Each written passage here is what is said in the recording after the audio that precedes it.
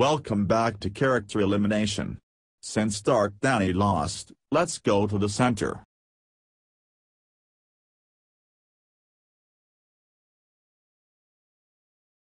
Okay contestants.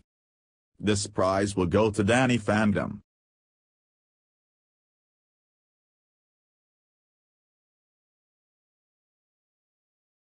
The person getting eliminated is Skulker.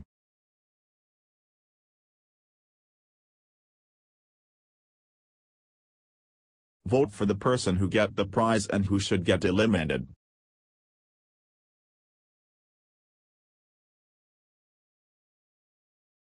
Created using Powtoon.